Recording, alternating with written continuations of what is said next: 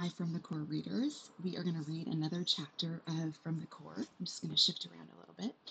Um, and I just want to remind you I'm coming to you from the Mediterranean coast in a little city in Italy, a little town in Italy called Anzio. It's right on the Mediterranean. And um, it's beautiful. I'm looking out over the Mediterranean, but I do want to remind you that we are outside. So you are going to hear a little bit of traffic noise, possibly a Vespa passing by.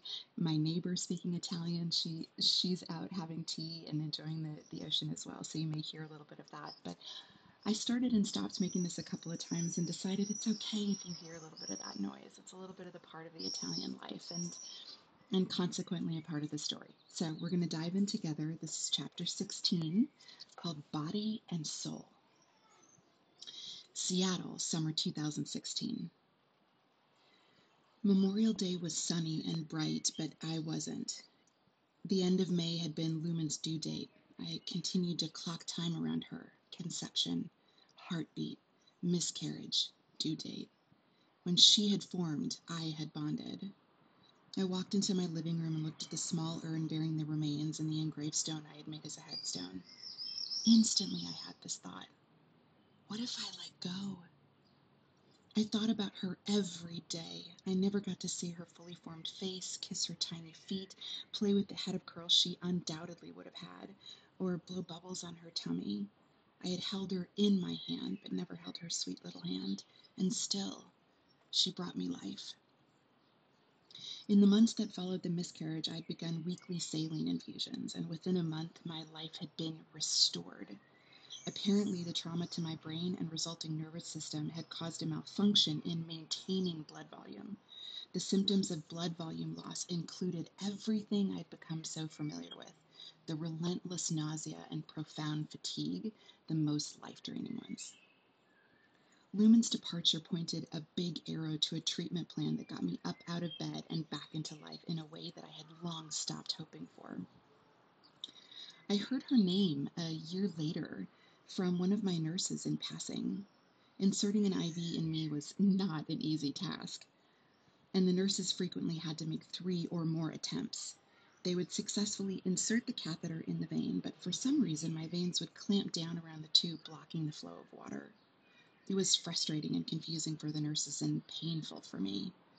We weathered it together with humor and grace, and I would do slow and deep breathing and encourage them along. The nurses had a protocol that if they tried twice and were unsuccessful, they would bring in another nurse to try again. Sometimes they stayed and kept trying, but most of the time they brought in another nurse, a fresh start for us both. I knew all the nurses by name and over time also came to know the stories of their lives. Karen had made two attempts at my veins when Susan came in to offer relief. What's going on? Susan asked. You trouble again, lady? She asked with a laugh.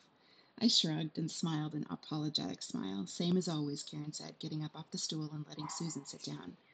I successfully get it in the lumen, but then her veins clamp down. I waited until I got home to look up the definition. Lumen, an opening, the cavity of an organism, vessel, or cell, the hollow of a needle or catheter, the space through which water flows. I marveled at the coincidence that the very name we chose in 30 seconds or less, having no idea of its secondary definition or reason to believe at the time it was anything special or significant, was precisely the name that held both my hope and my healing. Lumen was the beacon for my healing, and her name carried the healing methodology. When we first chose the name, I looked at it one way, but in this new light, her, lame, her name became something else entirely. I had come to know this as the beauty of healing. It is both pleasure and pain, darkness and light, a prism refracting light differently at the advent of each new day. I walked to the edge of Green Lake and sat down in the sun. I watched the water dance for a long time. I thought about Lumen as the sun lay on my face. I felt the weight of the rock and turned it over and over in my hands. In it, on it, read, You were here. We saw your heart. As I sat quietly by the water, I dug a small hole with a broken off branch. When it was deep enough, I slipped the small square urn inside and moved the earth over top of it. This would be her place of rest. I stood up and dusted off the rear of my shorts. In order for me to move forward, in order for me to live into the life her life made possible, I had to return it all to dust. I held the stone to my mouth and whispered these simple thoughts. You were born November 18th, 2013. I held you in my hand. Your name is Lumen. I am your mom. From this day forward, the life I live is your legacy as much as it is mine. I arch my arm back and let the rock fly. There is no greater power than the acceptance of loss. Teresa, journal number 17. I wasn't just taking authority of my healing, I was grabbing it by the horns. I engaged Josie Rice, a local Seattle artist and, a, and graphic designer, to help me design elements for the healing kit and spent $10,000 bringing it to life. I had no plans for what to do with it, but when I heard, they're not yours to keep, they're yours to give away, I felt internal pressure to action it. I'd made 100 boxes and began giving them away. I became rigorous in looking for signs where I had clamped down around my pain and did everything I could to open the flow. I wasn't sure how long I'd been doing it or when it started, but the moment it came into my awareness, I was clear it needed to stop. I had been showering with the lights off. For years, I'd been at war with my body so deep I had developed a disregard for my flesh. It wasn't so much that I hated my body, I'd stopped acknowledging it even existed. It was a systemic problem. I had become numb. Physically, my dysautonomia had impacted my nerve endings and robbed me of a lot of physical sensations. I didn't feel hunger, I didn't experience thirst, and when I worked out, I had no indication of waning energy until the floor dropped out. Emotionally, I had also become numb to the signals my soul was sending, perfecting the out of body experience or cheerleading my way through emotional pain. If you protect what you value, I didn't value a body that couldn't be relied upon, a body that had tortured me from the inside out.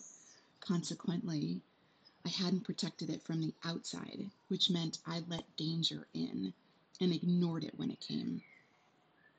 My body and I had separated long ago.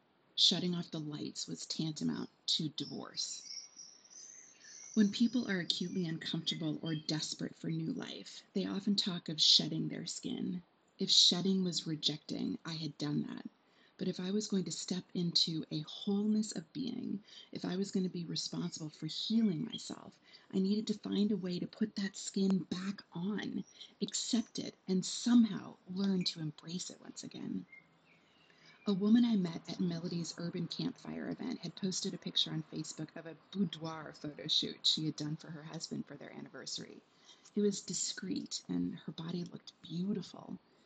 I thought maybe through another's lens, I might be able to see my body anew.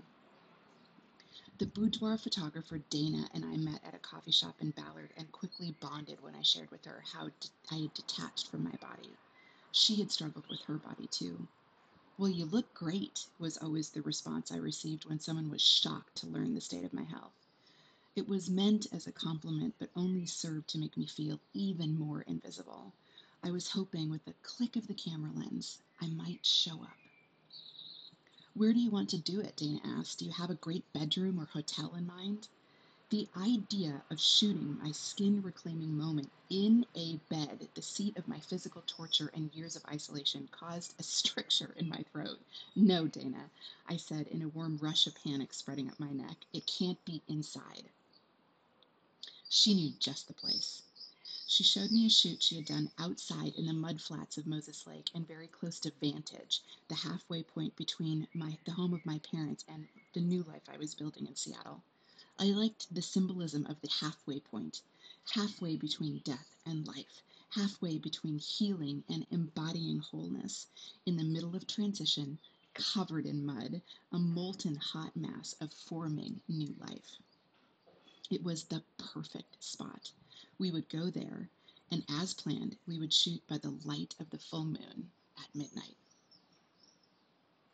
We drove out to Moses Lake and shot a few images in the mud flats and sand dunes at high noon.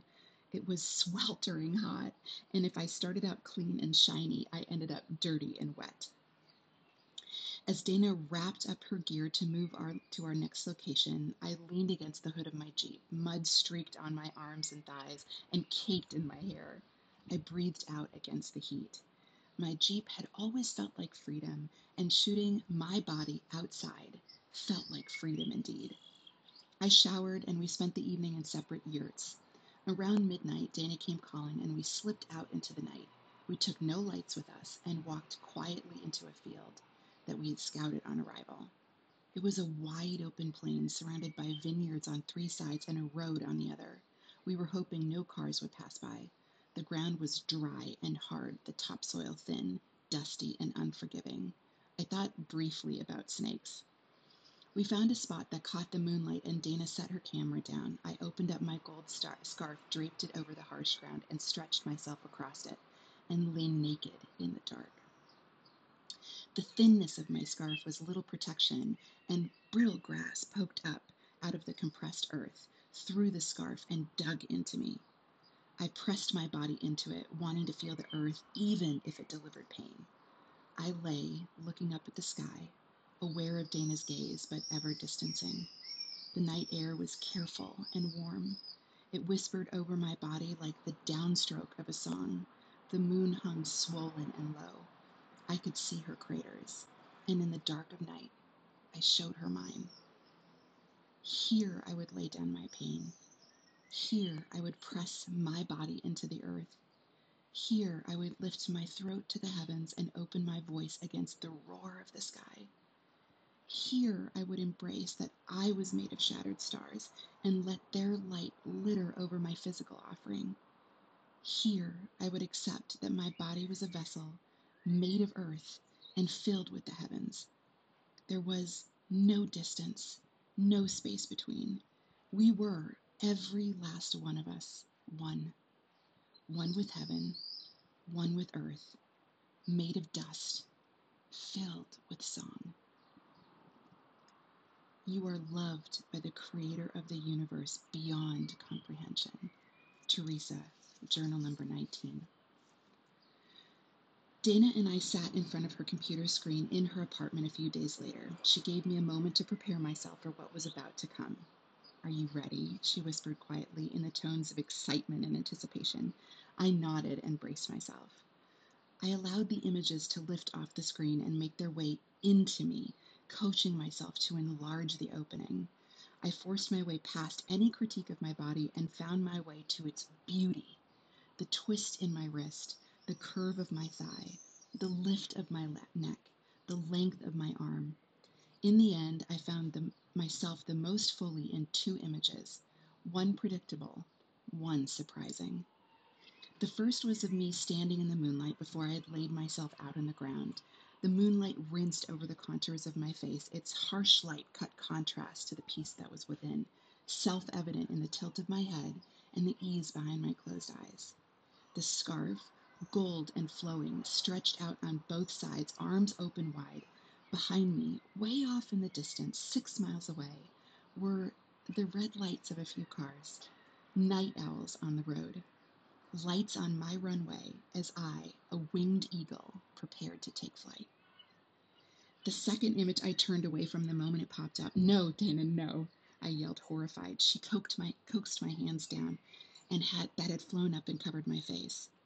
I had been so emboldened when we captured the shot, brazen, trailblazing, fierce, and free. It was high noon in the desert. The sun was overhead. It was white hot heat, unmerciful and unrelenting and rushing forward like a semi on the highway, my thighs clapping thunderously, my forehead tilted forward, my eyes squinted against the sun, right down the center line, naked and unashamed, I came barreling down. I left Dana's house and embraced these truths. I was an energetic body and a spiritual being. I was made of dust and infused with divinity. In response to healing and heartache and loss and life, I would take it head on, naked and unashamed. I would embody this vessel given to me, and in it, come what may, I would come barreling down.